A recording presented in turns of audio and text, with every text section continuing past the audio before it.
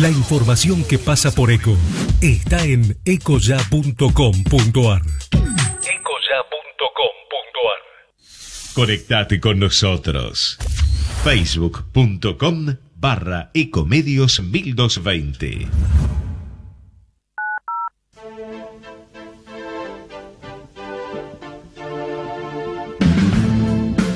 Al derecho y al revés. Las dos caras de la realidad. El yin y el yang de los temas actuales.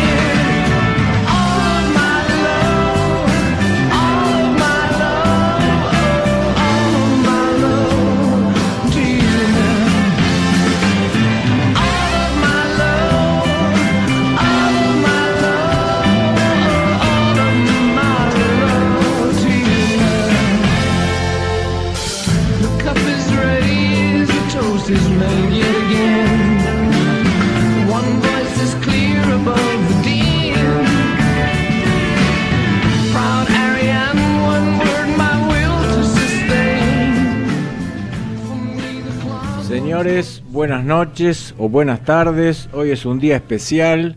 Estamos inaugurando un nuevo ciclo de radio, un nuevo programa de radio y en una nueva emisora que hoy nos recibe, nos acoge, AM 1220 y realmente estamos encantados porque los que nunca estuvimos en televisión nos sentimos cerca de la televisión porque de alguna manera esto puede verse por internet. Bueno, hoy inauguramos un programa nuevo, nosotros recuerdan que veníamos con el tercer ojo, que también sigue mañana, pero hoy se nos ocurrió organizar un programa nuevo con otras pretensiones. Un programa que le hemos llamado Al derecho y al revés. ¿Y qué significa al derecho y al revés? Significa que lo que queremos es mostrar las dos caras de la realidad. Es un poco el famoso yin y yang de los orientales.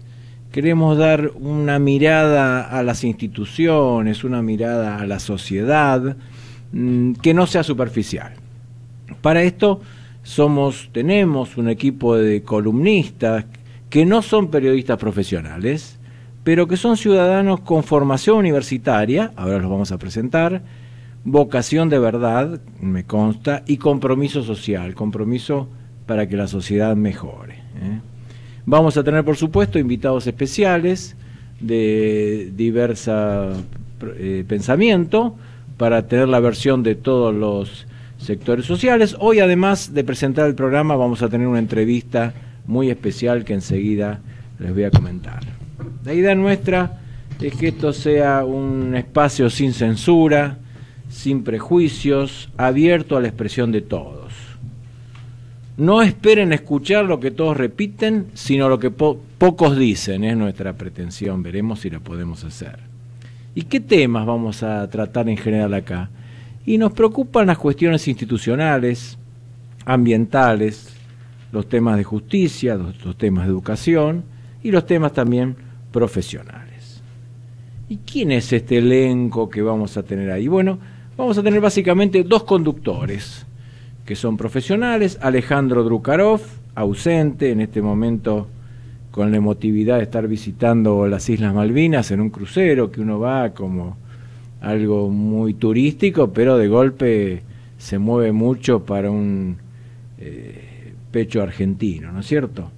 Y también lo tenemos a Alfredo Popritkin, que está acá a mi lado, y le voy a pedir si quiere saludarnos y presentarse. Alfredo, gracias por estar acá como co-conductor. Gracias a vos, Eduardo. Y no sé si vos dijiste tu nombre completo, Eduardo Fabier Dubois. Gracias. Este, a, mi izquierda. Eh, para aquel que, nos quiera seguir de algún modo eh, vía internet, le, podemos ir adelantando que si tienen una computadora a mano y conectan ecomedios.com, hasta pueden ver nuestras caras y cómo actuamos y cómo nos movemos y todos nuestros gestos. Así que este, acompáñenos eh, también a través de la, de la visualización. si lo que ven no le gusta, pueden también seguir con radio pura y dura. Solamente, así es. Bueno, y sí, eh, la idea de, de armar un poco entre amigos, entre profesionales conocidos de toda la vida. Eh, este tipo de, programas nos alentó por el hecho de que eh, uno siempre se queda con eh, el comentario sobre la noticia, sobre el hecho del día, pero con una visión diferente a la que plasman los medios. Este, a la que quedan publicadas en los diarios, donde no solo está la noticia pura y fría, sino que este, están las elucubraciones, pero ya no de aquel que opina por opinar, sino del profesional que, tiene una mirada diferente, una mirada desde el derecho, una mirada desde las ciencias económicas, que de pronto eh, pueden abrir otras aristas al mismo tema, que muchas veces los periodistas de profesión de periodistas dejan pasar o no ven con la profundidad o el detalle o esa mirada profesional que uno puede llegar a tener. Así que eh, creo que una, una de las cosas que podemos agregar o sumar es eso, es, es, la, eh, es la visión de otra manera de ver las mismas cosas y creo que también eso puede tener que ver con el nombre del programa de Al Derecho y al revés. Y también es un poco la contracara del tercer ojo, porque el tercer ojo busca un poco om, todo bien, entender todo. Claro, no, eh, no hagamos mucha propaganda del tercer ojo, que es la competencia. Eh, acá tenemos eh, dos bandos y tenemos unos infiltrados que son un poco visita, un poco... Pero, pero bueno, adelante, no, no. Vamos Sin grieta. Sin grieta, ahí está. No, es verdad, el tercer ojo viene mañana a esta misma hora. De paso hacemos la la promoción, pero con otros temas más light, ¿no es cierto? Bueno, vamos a nuestros columnistas permanentes. Enrique Schiarchi, que está acá presente. Enrique, no sé si quieres comentar algo, es eh, contador público, profesor, fue funcionario muchos años en Inspección de Justicia, en Comisión Nacional de Valores. Bueno, Enrique, un gusto tenerte acá de columnista. Bueno, el gusto es mío voy a tratar de satisfacer las expectativas que Eduardo vos depositas en mí. Eh, como sabés, digamos, a mí me cuesta un poco, digamos, eh, manejarme en radio, voy a tratar de eh, superar los miedos que provocan el dirigirse al público y tratar de hacer algún aporte positivo y en la medida de lo posible. Bueno, hoy vamos a hacer un curso para superar los, miedos con nuestro invitado especial, Eduardo Strauch Urioste un sobreviviente de la tragedia de los Andes. Así que gracias, eh, Enrique. Está también Carlos María Negri. Carlos María es bueno, un prestigioso abogado, tuvo cargos muy importantes también en la administración de canales de televisión, es penalista, es profesor, dirige un instituto de economía y delito en la Facultad de Económicas, así que Carlos, bueno, un gusto de tenerte acá. Eh, buenas tardes a todos, mucho gusto, esperemos divertirnos un poco, me llaman el contra y estoy viendo una pantalla de televisión que hay un corte en la Avenida de Julio por el tetazo. Señores, les dejo la palabra. Bueno, muchas gracias Carlos. Van a estar también acá Flavio Barenes, que está en este momento en el interior en tareas de producción, y Adalberto Buceto de La Plata, que hoy no pudo venir, pero va a venir la próxima. Tendremos nuestros columnistas invitados en nuestra producción, por supuesto, Federico Politi, que es el que nos está enseñando este oficio, y eh, de operador Gerardo Subirán. Muchas gracias Gerardo también por, esta colaboración. Bueno, eh, aquí nosotros queríamos presentar el programa y queríamos, eh, por supuesto, tenemos una nota fundamental que es un reportaje de Eduardo Strauch Urioste, como dije, un uruguayo, hermano uruguayo que participó activamente, le tocó participar en la tragedia de los Andes, pero que luego de esto hizo mucho, hizo muchas cosas y nos va a interesar muchísimo, tanto lo que pasó en los Andes, bienvenido Eduardo, gracias por estar acá y por moverte. Me encanta estar acá, no, tenía no sabía la existencia de esta radio, me estoy enterando ahora y me está gustando el bueno, que tiene. Va a ser la más importante, de, no sé rioplatense, pero de Argentina por lo menos. Gracias por estar acá, enseguida estamos contigo. Y bueno, eh, de alguna manera ustedes dirán, ¿qué tiene que ver eh, la epopeya de los Andes, de estos muchachos que lucharon por sus vidas y ganaron con este comienzo de programa? Y nosotros decíamos, bueno, tiene mucho que ver, ¿eh? nosotros acá tenemos un desafío como tenían ellos, ¿eh? había que empezar, había que trabajar con el miedo, había que definir liderazgos, había que poner esa voluntad de seguir en un terreno desconocido. Y bueno, y en eso creo que también este comienzo eh, con Eduardo, que tan gentilmente eh, se acerca a este estudio porque está dando una conferencia en Buenos Aires, que después nos comentará. Eh, nos, va a servir de alguna manera de inspiración para bueno superar los desafíos que puede ser armar un nuevo programa, armarlo con gente de un perfil profesional, pero con sus distintas ideas, metodologías y diversas cosas. Sí, dispuestos a correr riesgos, a lanzarnos a una gran aventura, que de eso vamos a hablar ahora en unos segundos. Y bueno, y creemos que es, lo, es el valor agregado que le podemos eh, sumar al público, pretenso público que por allí nos está escuchando, que nos va a escuchar en algún momento, porque ahora recién arrancamos, casi sin audiencia, podría decir, con muy poca, pero esperamos que se corra la voz, porque... Tenemos prestada la audiencia del tercer ojo. Ah, bueno, ya, ya tenemos como cuatro. bueno, eh, no sé cómo sigue Eduardo esto, a ver. Mira, eh, si vos querías hacer algún bocadito de actualidad, porque incluso estamos esperando también a Marcelo Iglesias, que es eh, nuestro coach empresarial, que lo acompaña a Eduardo Strauch Urioste, y de alguna manera nos va a contar algunas cosas interesantes de la aplicación. Entonces decimos, bueno, como es un primer programa, además del reportaje, que no lo queremos hacer también muy controversial, queremos realmente hacerle una visión más profunda, humana y empresarial de todo lo que pasó y de todo lo que se pudo aprender, ¿no es cierto? una historia se puede mirar de tantos puntos de vista, ¿no? Claro. Se le puede sacar mucho el jugo, sin duda. Eh, bueno, vamos a hacer una enunciación mientras esperamos, está, está bien, si se están de acuerdo. Este, vamos a ir, eh, ahí se va acercando gente que... Está llegando Marcelo Iglesias, bienvenido con los problemas de estacionar propios del tetazo, Marcelo Iglesias. No sé si participaste activa o pasivamente de esa manifestación, pero bueno. Llegó tarde, por ahora pasivamente, en cualquier momento activamente. que bien, bien, toma asiento por favor y te pedimos... ah, muchas gracias. Nos da un ejemplar de Exit o Exit, la Odisea de los Andes. Es un folleto muy, muy interesante que nos muestra, los que lo pueden ver por televisión, sobre bueno, esta epopeya y cómo esto se canalizó eh, productivamente, ¿no es cierto? Bueno, estábamos haciendo un pequeño raconto, hoy empezamos este programa nuevo, al derecho al revés, pequeño raconto alguna pildorita de este de lo que va a ser este programa y luego pasamos ya de lleno al reportaje a Eduardo José Strauchurioste y por supuesto a nuestro amigo Marcelo Iglesias, el coach.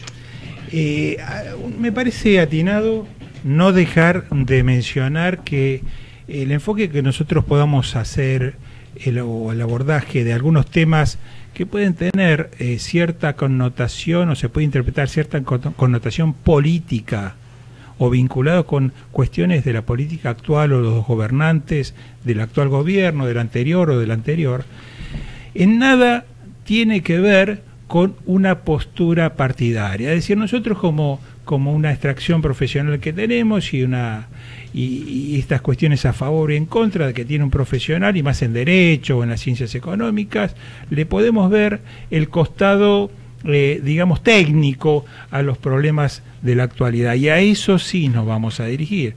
Y vamos a tocar temas de, eh, digamos, que de alguna manera ponen en tela de juicio al, al, oficialismo, por allí, en algún, en algún caso que abordemos, por ejemplo, qué sé yo, el, el tema del Panama Papers, hoy por hoy, ¿no es cierto? Podría ser uno de ellos. O la, la, la cuestión que está este, teniendo que enfrentar el titular de la AFI, de la ex CIDE, este, creo que es Gustavo Arribas. Bueno, podemos tocar esos temas y dar algún enfoque o alguna visión desde el punto de vista técnico, de la contabilidad, si se ha podido documentar o comprobar o, o de alguna forma probar su situación en favor o en contra, o el fiscal cómo los está abordando, pero también lo vamos a hacer desde luego porque hoy nos está inundando la justicia de causas respecto del gobierno saliente, del kirchnerismo, y bueno, eh, hoy los diarios eh, tocan temas como, por ejemplo, este, el procesamiento de Parrilli y más hace unos pocos minutos eh, se ha conocido el hecho de que el fiscal Marijuán, fiscal de esa causa, en donde se investiga la actuación del ex secretario de la presidencia, Oscar Parrilli, este, y respecto de su comportamiento en la persecución de, de quien era un, eh, narcotraficante sospechado y que estuvo mucho tiempo fuera del país, este, y que de alguna forma eh, habría que haberlo tenido o traído a tiempo a la, a la Argentina, se ha demorado y por esa cuestión fue procesado, pero de pronto nos encontramos con una gran sorpresa a todos nosotros. ¿Cuál fue? Que el fiscal le pide el arresto. No solo se ha conformado con su procesamiento que ha dispuesto el juez Lijo, sino que el fiscal está pidiendo el arresto. Claro que esta cuestión se va a resolver recién en, en, en, no sé, 20 días, un mes, porque esto va a ir a la Cámara, el fiscal lo está haciendo en una apelación respecto de la resolución del juez, pero es un tema que de pronto ya este, nos está acercando ¿Eh? Eh, fíjense que era el ladero, la persona de más confianza o que convivía con la expresidenta este, Cristina Fernández, de pronto este, este señor está es sujeto a ser este, puesto en la cárcel si es que la apelación del fiscal tiene asidero y la Cámara de Apelaciones le hace lugar. O sea que la cuestión se está realmente recalentando en la justicia, este, más allá de la cantidad de procesos que, que, que, que este, existen en trámite, pero vemos que de un lado del otro, del gobierno actual, es el, el, macrismo o el gobierno saliente, el kirchnerismo, de un lado y del otro hay cuestiones judiciales que nosotros podemos llegar a abordar con, con toda soltura y sin considerar un tema ya muy del día de hoy, o de ayer, de hoy, que es la problemática en el fútbol. ¿Qué pasaba en la Asociación del Fútbol Argentino respecto de eh, cómo se manejaban los partidos, eh, cómo se designaban los árbitros, cómo actuaba el Tribunal de Disciplina y algunas escuchas que, han, que nos han escandalizado a todos han trascendido, por supuesto más allá de la legalidad o ilegalidad de estas escuchas, nos encontramos con que hoy se pone sobre el tapete una cuestión que todos presumíamos que pasaba, que ocurría, pero que hoy no, nos encontramos con la prueba contundente y refutable que de pronto desenmascara una situación que nos viene atravesando todos estos años y que ha eh, manchado de alguna manera lo que nos viene ocurriendo en el fútbol argentino.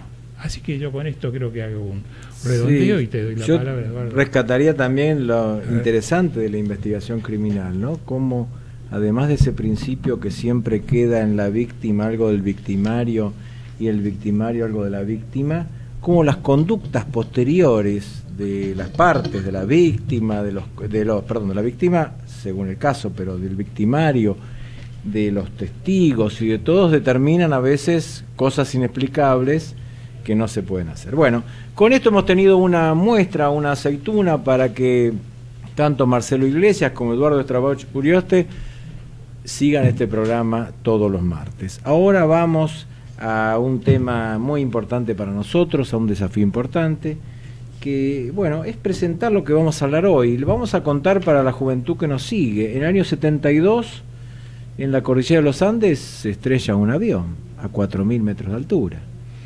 Este era un avión que traía unos chicos de Uruguay que iban a jugar un partido de rugby y familiares y amigos. Después nos va a, nos va a contar Eduardo Strauch Urioste qué hacía en ese avión, si es que quería ir a esquiar a Portillo y le salió muy complicado, aunque creo que efectivamente pertenecía a este equipo de All Christian. Bueno, empezamos y te damos la bienvenida, Eduardo. Gracias por estar acá. Eh, contanos algo de vos. Yo lo que decía es, este avión chocó, no tenía alimento ni dónde cobijarse, 45 ocupantes, sobrevivieron 32 al choque, luego 27, luego 19 y al final quedaron 16 sobrevivientes, que bueno, esto puede ser medido como éxito o como fracaso según el caso. Eduardo, un gusto de tenerte acá. Digamos también que por supuesto sos uruguayo, sos un artista plástico, son, sos arquitecto, sos autor, eh, tenías 25 años cuando ocurrió este evento y bueno, muchas cosas más eh, que vos nos seguirás contando. Bienvenido y te escuchamos. Eh, sí, te digo, estoy muy, muy cómodo acá, me siento muy a gusto y les agradezco la invitación. Parece, yo, mismo me sorprendo, ¿no? Parece increíble que 45 años después de, este accidente que, has narrado, haya tanto interés en todo el mundo de nuestra historia. Evidentemente es una cosa que, ha trascendido el tiempo. Se trata de, del ser humano, de la esencia del ser humano, de los valores, de las capacidades del ser humano expuestas en, en, una situación límite. Y yo a veces trato de mirar de afuera la historia que me tocó vivir y, y, es, y es, apasionante, ¿no? Desde todo punto de vista. Ahora, ¿cuál, cuál es el Eduardo Strauch Urioste, los uruguayos siempre usan los dos apellidos como corresponde. ¿Cuál es la, también, ¿Cómo te definís hoy vos mismo? ¿Sos un sobreviviente? ¿Qué sos? ¿Cómo te definirás a yo, mira, yo, Viene un marciano, dice, ¿usted quién es Eduardo? ¿Y usted cómo se define? Yo soy Eduardo Strauch, eh, soy como nací, con todos mi, mi, mis atributos y mi, todo lo que recibí de mis ancestros, la educación que recibí en mi casa más la experiencia en los Andes, que evidentemente es un plus en mi vida. Me han preguntado muchas veces eh, si hubiera preferido o no vivir esta experiencia. Al principio me daba, me daba no sé qué decir que sí. Y después me di cuenta que sí, estoy, que realmente prefiero y agradezco haber vivido esta experiencia que me ha enriquecido tremendamente ¿no? hasta el día de hoy. Le sigo sacando el jugo eh, sigo aprendiendo cosas, sigo conociendo gente, sigo sacando cosas de, de, mi propia experiencia, independientemente de todo lo que sufrimos, por supuesto, y, todos los, los, muertos y todos los amigos que perdí en, en los Andes. ¿no? Pero aparte de eso, eh, agradezco haberlo vivido. No lo viviría de vuelta, por supuesto, ni loco, porque fue una experiencia Pero dura y larga. Tengo una pregunta, fíjate vos, de Daniela de Orabarría, que me dice, a ver, Eduardo, se te cae el avión de vuelta y estás ahí. ¿Qué haces que no hiciste? O viceversa. ¿Qué ratificarías de hacer y qué no harías o qué cosa distinta harías ahora con tu experiencia, tu edad? Se te cae el avión de vuelta, ahí. Lo, he pensado también, me lo, me lo han preguntado más de una vez, lo he pensado muchas veces. Yo te diría que las cosas importantes no cambiaría nada, o sea, haría exactamente todo lo que hice. Quizás en detalles, como aprendí de la montaña, que en aquel momento nadie sabía nada de lo que era la montaña, lo que era 4.000 metros de altura, lo que era la falta de oxígeno, lo que era el frío, la nieve, no teníamos ninguna experiencia, en Uruguay no, existe todo eso. Había estado de chico en, en, Bariloche unos pocos días. O sea que creo que lo que haría es, eh, bueno, sabría mucho más de, la montaña, hubiera facilitado un poco algunas cosas eh, al principio, pero todo lo demás creo que lo hubiera hecho exactamente igual. Creo que, creo que hicimos lo mejor que se, que se pudo hacer en todo sentido. Decime, como plástico, el estar ahí en esa belleza inconmensurable de los Andes. Así es, belleza inconmensurable. ¿Tuviste oportunidad de apreciarla o estabas con el shock del que busca sobrevivir y realmente era para vos simplemente un desierto de, de nada? Mira, no solo tuve la, la, la oportunidad, o, o, pude llegar a, a, disfrutar de esa inmensidad y de esa belleza increíble que es que la montaña a 4.000 metros de altura, esa atmósfera nítida con esos coloridos, esos amaneceres, esos atardeceres.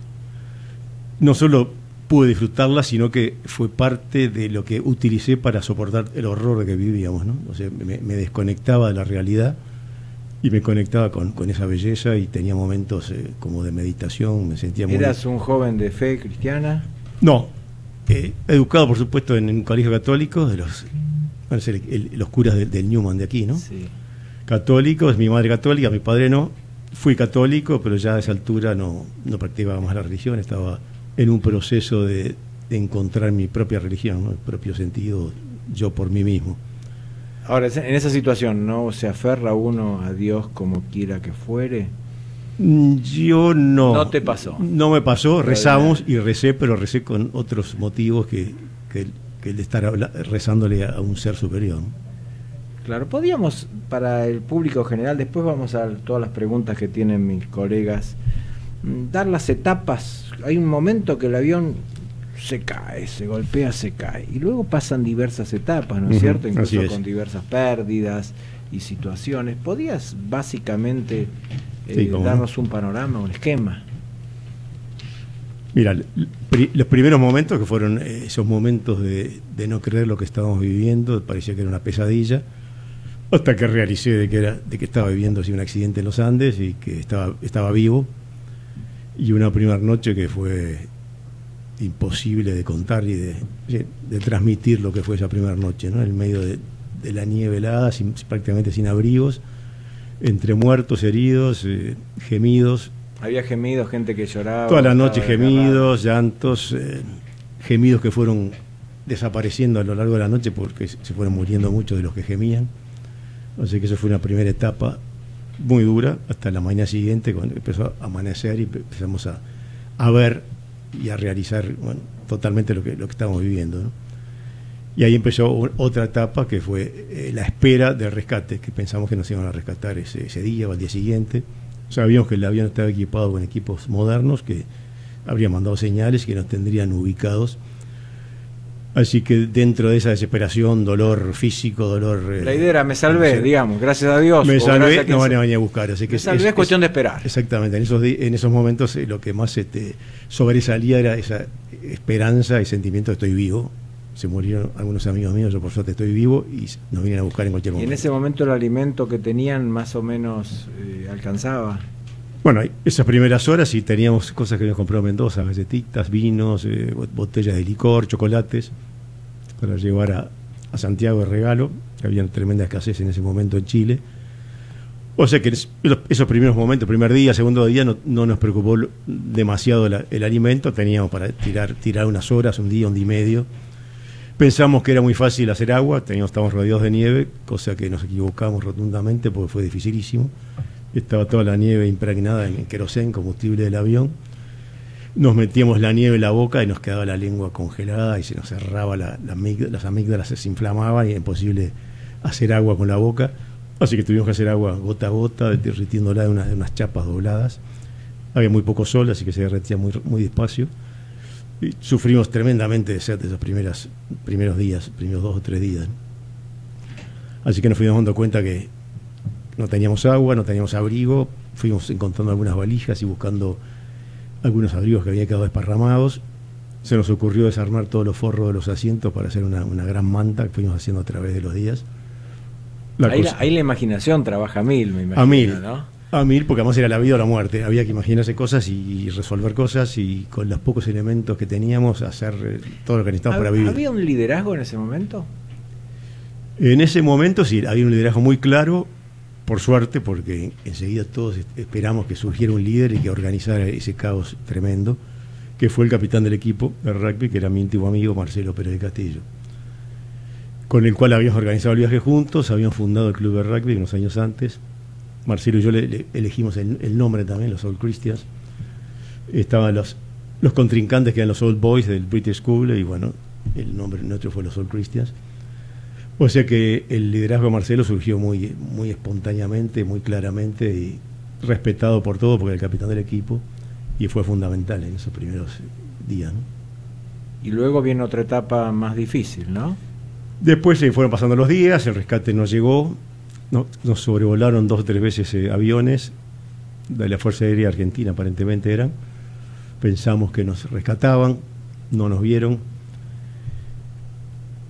Al, al décimo día escuchamos eh, en radio, teníamos una radio transistor que nos conectamos con la civilización todos los días y escuchamos la noticia que se había suspendido la búsqueda al décimo día. ¿Qué radio era? No era esta. No, esta no, No era, fue no. esta, por favor. Esta no era. Pero era una noticia cierta, lo peor. Era ¿no? noticia cierta. Claro. sí. Ese fue otro de los momentos así claves y, y desesperantes y angustiantes, ¿no? Cuando nos sentimos solos y abandonados. Bueno, te dejo con esta pausa y esta expectativa. Bien. Vamos a hacer un pequeño corte Y bueno, vamos a la música, maestro. Ecomedios.com AM1220. Estamos con vos. Estamos en vos. Descarga gratis de tu celular la aplicación Ecomedios. Podés escucharnos en vivo, informarte con las últimas noticias y entrevistas en audio y video. Búscala y bajate la aplicación Ecomedios. Podés vernos en vivo en ecohd.com.ar. ecohd.com.ar. Conectate con nosotros. Contestador 5 254 2353.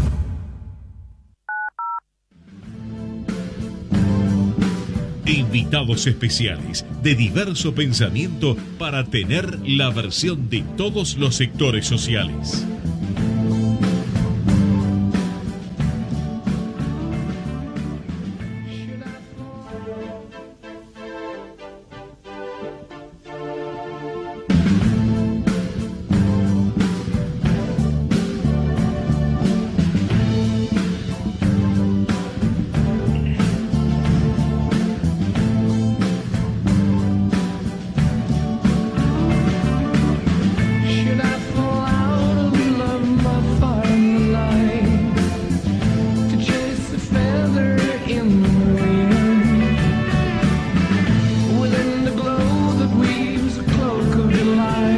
Señores, volvemos a nuestro programa. Aquí Eduardo está conversando un poquito informalmente, que es lo más lindo y lo más sabroso de estos encuentros, y la verdad que la presencia es importante. Seguíamos con un breve relato, después vamos a más preguntas, pero estábamos con que descubren que por radio dicen que se abandonó la búsqueda y se los da por perdidos, obviamente. Sí, fue un momento angustiante, ¿no? desesperante. Nosotros muchos ya, ya teníamos, estábamos convencidos que, que no nos buscaban más, que no, nos, que no se iban a encontrar, que no nos veían, nos habían sobrevolado. Otros seguían con la esperanza o necesitaban tener la esperanza todavía. ¿no? Así que eso fue un masazo, algunos se, se- se deprimieron terriblemente. Creo que hubo unos llantos de, de los más chicos. ¿A vos te pasó algo de eso? No, yo estaba preparado porque yo ya sabía que no, que no nos iban a rescatar. Diez días después era imposible. ¿Pensaste en algún momento, y esto me lo manda Inés Clos del Consejo Profesional, ¿pensaste en algún momento en que te ibas a morir? ¿Pensaste en suicidarte? ¿Pensaste algo horrible en algún momento? Suicidarse, eh, suicidarnos jamás, creo que ni- creo no, seguro ninguno, al revés, estábamos desesperados por sobrevivir, vivir, teníamos mil proyectos, recién empezamos la vida, jamás se nos pasó por la mente suicidarnos. Dejarnos morir se nos pasó también a casi todo porque hubo un momento que era tan duro, tan, tan horrible, tan difícil seguir luchándola, que cuando veíamos que algunos de nuestros amigos se morían y la cara se le aflojaba y tenía una expresión de placidez, decíamos, ay, ojalá me toque a mí así. Era- eran mo- momentos, Un ¿no? escape de la situación. Momentos muy cortos y enseguida otra vez te venían ganas de seguir luchándola y sabíamos que estábamos convencidos que íbamos a salir solo porque nadie nos ayudaba, nos habían abandonado. Íbamos descubriendo todas las capacidades que, que tenemos los seres humanos día a día, entonces nos fuimos sintiendo cada vez más seguros, a pesar de estar perdidos en la mitad de la montaña. Sin comida, sin abrigo, sin agua.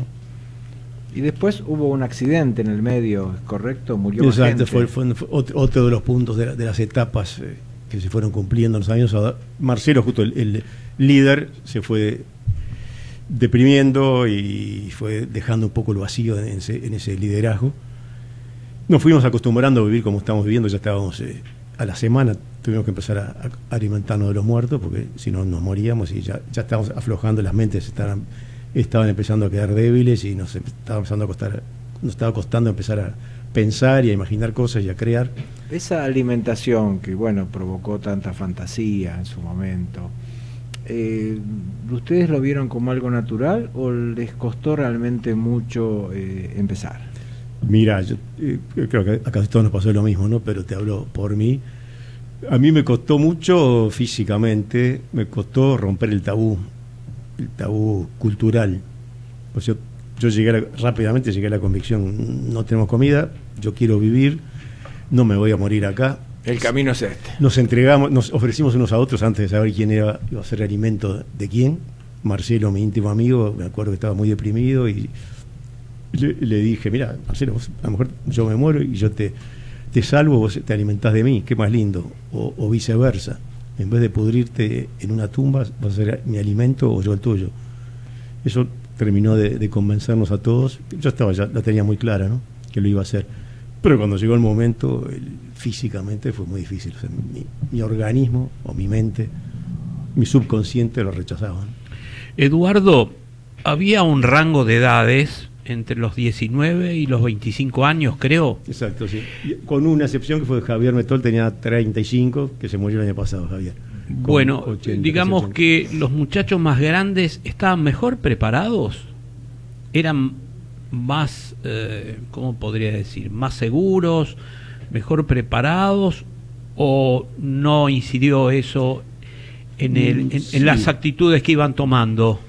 Yo te diría que incidió justamente al, dejar Marcelo el liderazgo, naturalmente nos fuimos convirtiendo en, líderes los tres primos Strauch. Éramos, cuatro primos. Tres por Urioste, Adolfo Strauch Urioste, primo hermano doble, Daniel Show Urioste, primo hermano parte de madre, y, Da- y Daniel Fernández Strauch. O sea que Daniel Show se murió en el accidente, uno de mis cuatro primos. En el momento del accidente quedamos tres por parte de Strauch. Y éramos de los mayores, o sea, lo que nos ayudó que éramos, eh, teníamos más experiencia, ¿no? Teníamos 3, 4, 5 años más que, los más chicos. Y además éramos eh, de la misma edad, primos, nos conocíamos de toda la vida. Hicimos como una especie de, unidad ahí, nos eh, cambiamos ideas antes de tomar decisiones, nos ayudamos, nos apoyamos unos a, los otros, nos levantamos el ánimo cuando te decaía, que era bastante frecuente. Sea que en definitiva la pregunta tuya, sí yo creo que la, la edad influía por, por la experiencia, ¿no? Por Tu signo leonino que comentabas antes es parte de esta, digamos, ¿viviste lo de- la situación de ser leonino como, como algo favorable en esos momentos? Ah, te reconozco que en ese momento no, no lo pensé. Ajá. No lo, no lo pensé, pero después, con perspectiva y analizándolo, pienso que sí. Bueno, y sigamos entonces. Hay otro momento que es el que se dispone salir a buscar. ¿Cómo fue eso? Primero esperar, ¿no es cierto? La espera es inútil. ¿El siguiente paso cuál era? Prepararse para salir Prepararse solos para salir. nosotros. Tuvimos que esperar mucho tiempo porque el clima era muy, muy bravo, muy hostil. Algunos de los chicos querían salir enseguida, los tuvimos que frenar para que no se murieran a, a las pocas horas, o al, o al día siguiente, o a la primera noche en la, en la nieve. O sea que tuvimos que esperar dos meses. Ah, la A- pucha. hasta que el clima fue, sí, desde el 10 que nos enteramos, el 10 de octubre nos enteramos que no nos buscaban, hasta Dos meses pensando que tenían que salir, pero estaban buscando condiciones. preparándonos, y hubo expediciones para buscar la cola, a ver si se encontraban alimentos y abrigos, se encontró la cola, se encontró algún abrigo, mm, prácticamente nada de alimentos. El clima iba mejorando de a poco. ¿Y cómo se decidió quiénes salían a buscar? Eso fue relativamente fácil porque elegimos a los que estaban más fuertes físicamente y psicológicamente sobre todo. Nando, que se mandó esa, esa hazaña increíble, eh, desde principio estaba convencido que iba a salir y yo me acuerdo que me ayudó mucho a mí porque lo veía tan convencido que yo estaba, estuve seguro también que él iba a salir y que iba a llegar a, la civilización y no nos iban a rescatar. Lo hacía absolutamente convencido, estaba programado para eso y no había quien lo parara. Hay un mito recurrente de que fueron para el lado equivocado, que si hubieran ido en vez de buscando Chile por una idea de que estaban cerca, ¿no? Porque creíamos que estábamos Chile, sí. cerca, hubieran ido para el lado de Argentina, hubiera sido más sencillo. ¿Es verdad esto o no? No, por suerte la decisión que tomamos y, el- y el, eh, la dirección que se tomó, se resolvió para salir, fue la, la menos peor y la menos dura. ¿no? Porque si hubiéramos salido hacia la Argentina, nos hubiéramos encontrado con dos ríos, o se hubieran encontrado los expedicionarios, se hubieran, probablemente los hubiera arrastrado muy débiles, los hubiera arrastrado la corriente, que hay unas corrientes brutales en esos ríos, en, en la montaña, se hubieran mojado, se hubieran congelado la primera noche. O sea que pienso que la decisión A se pesar de ser más largo y tener Claro, que era- subir era y bajar, sí, ¿no? seguro. Era todo en bajada, pero hay esos dos ríos que hubieran sido muy, muy difícil, o imposible prácticamente sobrevivirlo. ¿no? Bueno, y me interesaría ahora, y ahora lo, lo convoco un poco a Marcelo Iglesias, estas experiencias de sobrevivencia, de montaña, eh, ¿cómo se pueden aplicar para otras situaciones? Uno dice, bueno, si me pasa de nuevo, o yo leo el libro Viven, que es un libro que yo devoré en una noche, creo que es el único libro que no pude dejar de, de, de- de leer, porque era, a pesar de conocer el final, pero bueno, era una cosa extraordinariamente interesante. Me acuerdo cuando los diarios dijeron Milagro de Navidad en Buenos Aires. fue muy fuerte. Bueno, me emociona hoy mismo recordarlo. Y todo esto, eh, las enseñanzas, recién nos decía Eduardo, ¿no? Marcelo, eh, ¿qué, qué deja esto para la vida y qué deja para la empresa? Mira, yo creo que, ante todo, gracias por la invitación. Creo que en el campo del aprendizaje el caso es un caso testigo único y deja para la vida, yo trabajo en el ámbito empresario, pero también para la vida personal de cada uno, enseñanzas como el tema de superación de la adversidad, de la tenacidad, de tener la capacidad de super- superar los obstáculos, de fijarse metas y poder alcanzarlas. Y vos decías recién el milagro de Navidad. Ellos plantearon como objetivo, primeramente, salvar la vida. Pero fueron rescatados y plantearon también otro objetivo, que fue pasar la Nochebuena con la familia. Que es un objetivo muy secundario con respecto a salvar la vida. Y fueron rescatados un 22 de diciembre. Y el 24 de diciembre, en el Sheraton de Santiago, pasaron la Nochebuena con la familia. Entonces lo que muestra es la capacidad del ser humano de fijarse metas y, poder alcanzarlas.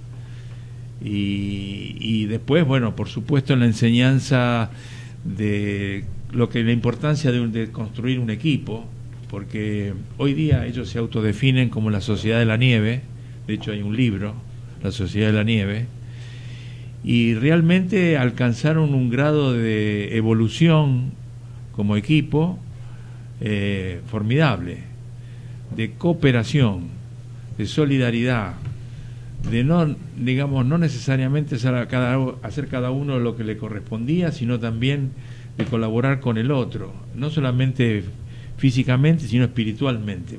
Recién decía Eduardo, cuando uno se caía, el otro lo, lo apoyaba en levantarse, ¿no? Y algo que este, es la insensatez de la juventud, ¿no? Esa insensatez que a lo mejor no es tanta insensatez.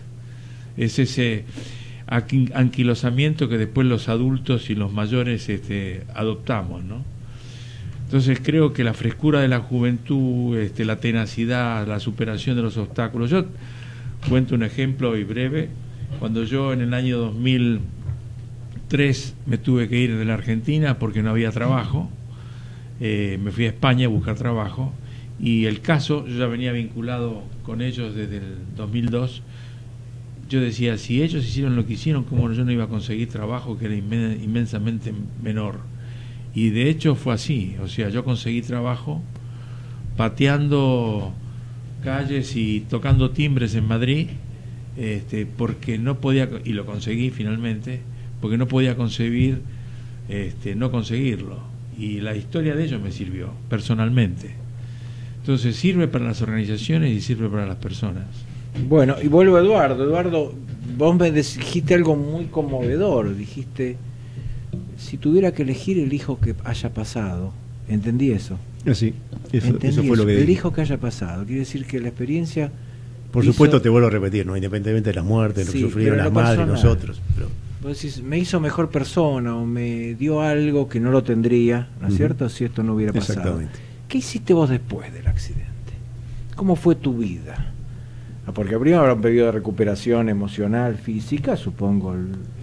¿En algún momento habrás hecho un curso para volver a viajar en un avión o no hizo falta? El curso me lo hice yo mismo, porque me encanta viajar y sabía que iba a tener que volar.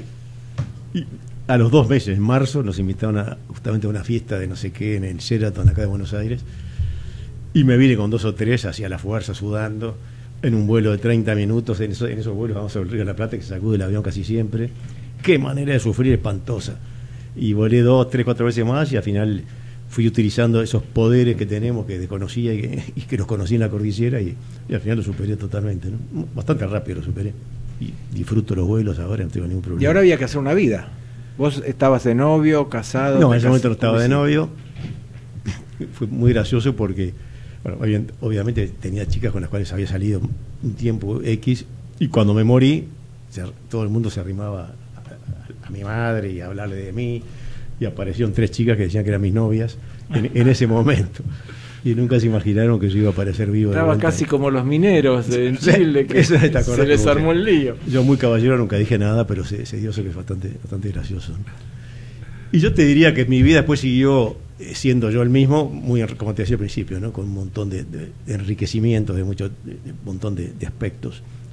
Aprendí so- sobre mí mismo, sobre el universo, sobre el espíritu. Ahora, sobre eso me imagino naturaleza. que te habrá dado una fama extraordinaria en Uruguay, Sí, evidentemente. ¿no? En tu sociedad y en tu gente. ¿Y esto cómo lo manejaste? ¿Era incómodo que te reconocieran? Sí, al principio ¿Te molestaba era contarlo? ¿Te preguntaban cosas horribles? ¿Cómo lo manejaste? Contar siempre me encantó y con toda la gente que se arrimaba, amigos y primos, siempre me encantó hablar y contar y me preguntaba cualquier cosa, nunca me, me molestó ningún tipo de preguntas. Por supuesto había mucho morbosismo en la gente y, y una cosa muy, muy impactante, ¿no? que hayamos vivido de la carne de nuestros amigos. Es, es muy comprensible y la, mucha gente se arrimaba por eso y, y preguntaba, nunca me molestó lo más mínimo, pues siempre tuve la conciencia muy tranquila. Pero fue bastante molesto el ser siempre el centro en todos lados, ¿no? Al principio sobre todo. Eduardo, te invito a que veas la pantalla de televisión que dice un avión se estrelló en Marcos Paz, investiga las causas del accidente. Ahora, Ahora, ¿qué, qué- a qué te lleva ese esa pantalla? Una cosa que me, hasta el día de hoy, con cada accidente aéreo, me, me conecto totalmente y me quedo muy, muy pendiente, ¿no? Y me imagino enseguida que habrá pasado toda esa gente dentro del avión, eh, bueno, después cuando voy enterándome de detalles, me, me meto, me pongo en sus zapatos enseguida y la verdad que me hace sufrir bastante. Lo mismo pasó, bueno, me pasó con todo, ¿no? Pero me acuerdo del de Air France, que estuve meses pendiente, el, el, el brasileño, pobrecito. ¿Qué estaba pasando? Claro. ¿Eh? ¿Qué habrá pasado? Dime ¿Qué una habrá cosa, sentido? y este, este grupo tan fuera de lugar, tan extraordinario, que logró generar su supervivencia, ¿qué pasó después? ¿Cómo quedó? ¿Se siguieron viendo? ¿Se desintegraron? Cada uno lo leyó distinto. Vos lo le- leíste positivamente, alguno lo leyó mal y se deprimió, alguno se enfermó, no se vieron más, se ven siempre. ¿Qué es lo que pasó con el Mira, somos seis, 16 personas distintas y cada uno lo fue procesando distinto. ¿no? Yo creo que lo vivimos distinto allá.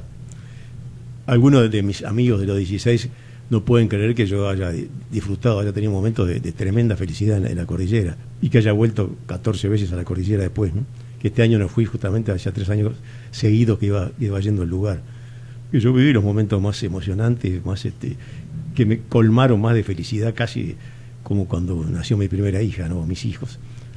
O sea que es, es una, es una mezcla de cosas y de sentimientos que tengo con, con- con toda la historia que viví. Y después cuando llegamos aquí también cada uno lo fue procesando distinto y viviendo distinto. Yo te reconozco que para mí ha sido totalmente positivo y he ido, ido aprovechando al máximo y lo sigo aprovechando. ¿no? En algún momento tenía mucho trabajo, bueno, en la época de la plata dulce en la Argentina, ¿no? tenía muchos clientes argentinos que compraban Uruguay, laburaba como un loco yo en, la arquitectura, de lunes a domingo. Llegué a tener un cliente un 24 de diciembre o un 25 de diciembre de mañana en casa que fue a preguntarme no sé cosa, que se iba y yo lo atendía ahí entre los juguetes de los chicos. Y un día me di cuenta que, que me había olvidado de la cordillera, que estaba metido en esa vorágine horrible, nociva y espantosa de- del consumismo, de la guita, que eso habrá sido como 10 años después del accidente. Pegué un frenazo, empecé otra vez a conectarme con, con La cordillera te con mi vincula cordillera. como algo ah, con algo trascendente. algo Exacto, con, lo que realmente vale la pena la vida, ¿no? Que, es, que es- lo tengo muy claro ahora, muy claro, es, es- es- son pocas cosas y, y bueno, y lo tengo clarísimo. Para ser feliz, Decime, es la suerte de los hacer. 16, ¿cómo es hoy? ¿Alguno falleció, me dijiste? Sí, murió Javier el año pasado, que, que cumplía 80 justo el, el año, el año pasado, no el otro, cerca de los 80, y los demás, con sorpresa de todo el mundo, porque en todas partes del mundo nos, nos- nos preguntan, ¿y, y viven todos? Sí, vivimos todos. Sí, viven todos. sí. Estamos, estamos todos lo más bien. ¿Y hacen encuentros cada tanto? Mira, es, es una especie de, de vínculo indestructible, es, es más que hermanos. Yo he estado con, con hermanos, he estado por distintos motivos muy distanciado, que somos cinco hermanos. Y nosotros los 16, por supuesto, es un grupo humano y siempre hay peleas y no estamos de acuerdo con algunas cosas y nos puteamos y, y nos alejamos un tiempo, pero es un vínculo indestructible, nos vemos mucho, estamos siempre con alguna cosa en común, un libro, documental o, o la fundación que teníamos, que ahora está media parada. Los 22 de diciembre, hace 45 años, 44 años que hemos hecho una fiesta para festejar nuestra, nuestra salida a la cordillera. Que primero éramos 16 y después eh, ahora somos 110 o 115. Ahora contame, hay un rito de ir al lugar, porque el lugar está reconocido, hay Sí. creo que una excursión que te lleva. Hay varios, ¿no es hay cierto? va- varios eh, guías que llevan gente. es como una especie de peregrinación para mucha gente. Y bueno, ya te digo, yo lo he hecho 14 veces seguido con, mi- con mi- mis hijos dos o tres veces, con mi mujer un par de veces y Pero una persona cualquiera puede, si Sí, sí. quiere, ir ahí Sí, a- por supuesto, sí, hay varios guías. Soñado, ¿no es cierto? Y Exacto. ahí... es eh, ¿Cuánto es del soñado hasta ahí? Mira, ahí va, a- ahora, va a- va a ser una digamos? 4x4 de, de- bueno, el soñado mismo donde agarramos los caballos son unas 5 horas al, al campamento base y 5 horas más hasta arriba.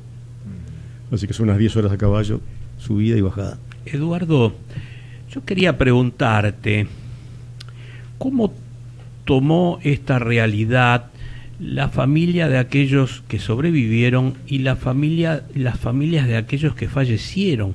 ¿Se produjo algún punto de, ¿cómo te podría decir?, de choque entre esas familias? Sí. ¿Por qué me tocó a mí y por qué no le tocó al otro? ¿O vos qué hiciste para que ayudar? efectivamente. ¿Qué es lo que pasó allí? Eso fue una de las cosas que no me esperaba yo cuando me, me salvé. Era una felicidad absoluta, una euforia, y nunca imaginé que al llegar a Uruguay, la madre de mi íntimo amigo que se había muerto al lado mío en, la avalancha, no me quiso ver más en por, años, porque no, toleraba la idea de verme vivo, que siempre nos veía los dos juntos, hicimos todos juntos, estudiamos juntos, andaba siempre con, novias que eran amigas.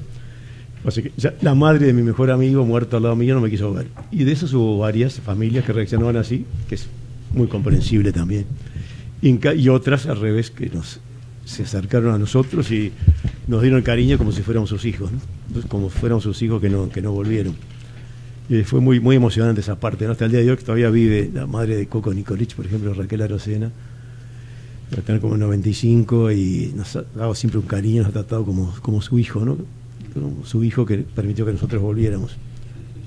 Y hubieron dos, dos cartas de padres de, de los chicos muertos, que eran los dos médicos, cartas abiertas a los diarios. Una de ellas es muy emocionante, que agradecía que su hijo hubiera podido ser alimento para que nosotros hubiéramos vivido. ¿no? Eso es impresionante. la grandeza de ese tipo, después de todo lo que había pasado, ¿no? Lo sufrido con, bueno, con su hijo muerto. Enrique. Eduardo, a mí me llamó la atención, comentaste varias veces de que en un momento dado dejaron de buscarlos, ¿no? O se enteraron inclusive por la radio. Y me llamó la atención, recordaba de esa época que el, bueno, el famoso arquitecto y pintor Carlos Páez Vilaro, padre, seguía buscando con un tesón que uno decía, bueno, esta persona eh, realmente está loco, o sea, está, ¿no? Pero bueno, eh, ¿a qué atribuís, digamos, ese tesón de seguir buscando? ¿A la fe? ¿A, a que tenía algún conocimiento, alguna cuestión Porque que lo llevaba a eso? Tu familia ya te daba por perdido. No. ¿O no? Ah, no. Ah, contame. Mi- la- las madres, casi todas las madres de los 16 que volvimos sentían que estábamos vivos. A la vieja le iban a dar el pésame, un montón de gente de Montevideo la mandaba al diablo. Eduardo está vivo, no sé cuánto va a venir. Entonces pensaban, bueno, estas pobres mujeres están perdiendo la razón, la han perdido. Es Qué impos- bárbaro. imposible. Lo que es la sensibilidad de la madre, ¿no? O sea que yo, creo que hubo una transmisión. Nosotros hacíamos mucho esfuerzo mental ¿no? para transmitirles a, a nuestras madres pensando que son las mujeres más, más perceptivas. Y nos concentramos y le mandamos el mensaje, estamos vivos, estamos vivos, estamos Bueno, vivos. eso apuntaba a la pregunta. Es como que vos, como que digamos después cuando seguramente habrás hablado con él, te habrá comentado que tuvo una percepción que Y tuvo- no, es- eso nosotros le mandamos el mensaje a nuestras madres. Los- algunos padres, los padres eran más escépticos. ¿no? El viejo por muchos momentos estaba escéptico y pensaba que se había pero seguía todo. buscando. igual. Mi padre también eh, eh, per- perdió la fe ¿no? en varios momentos, después recuperaba un poco. Y Carlitos sí tenía eso, no sé, quizás de esa sensibilidad artista o lo que como quiera llamarle, que Eh, sentía que el hijo estaba vivo, chau. Loco muy aventurero, bueno, adoraba a su hijo como todos los padres y, y sentía algo más seguramente que, que los otros padres nuestros. Eduardo, eh, una, una consulta. Eh, yo sé que vos los- lo tomaste bien y, incluso hasta te, digamos, fue un- lo tomas como un evento positivo en tu vida. Pero, ¿qué pasó con los aspectos psicológicos? ¿Necesitaron en algún momento ayuda? Digo en general, no sé si el caso tuyo tal vez no, pero, por ejemplo, por las noches, en algún momento soñaron con estos temas, tuvieron pesadillas, fue una cuestión que, que eh, la tuvieron presente, eh, eh, digamos, a todo momento y que no les permitió tan fácilmente volver a la vida normal? Mira, asombrosamente yo jamás tuve una pesadilla, nunca. Y nunca necesité ayuda psicológica, por lo menos pienso que nunca la necesité. Lo que me costó mucho más de lo que imaginaba era reinsertarme en la sociedad, ¿no?